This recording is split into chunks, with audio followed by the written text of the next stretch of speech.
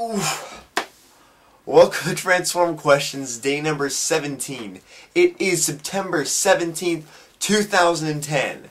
And today on Transform Questions, I'm going to shift things up a bit. I don't know what this was, but whatever. Today was supposed to be Comment Friday, but I'm going to change it a bit. I'm going to have you comment on my channel on this. This, everything. Everything over here. Everything. Up there, down there. Whatever you want me to change with my channel, I would definitely love to hear what you have to say. Um, give me some feedback. I love feedback. If you like something I'm doing, if you don't like something I'm doing, maybe change the room around a bit. I don't care. I'm definitely going to put a background because I'm not going to lie, this hallway right here looks really creepy at night. Yeah.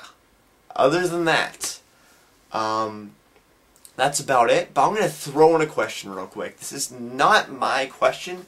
It's from my boss. I take no credit for this question whatsoever. He said, think of a restaurant and now just think of one that has a bad name. Now change that name. I have one perfectly in my head. I do not like this name of this restaurant because it is not fancy and the logo doesn't look good. But I'm not going to name it. So what would you say? What, what restaurant name would you change? Just bugging you a bit. Other than that, that's all I have for tonight. Have a great, great night, and I will see you tomorrow. See ya.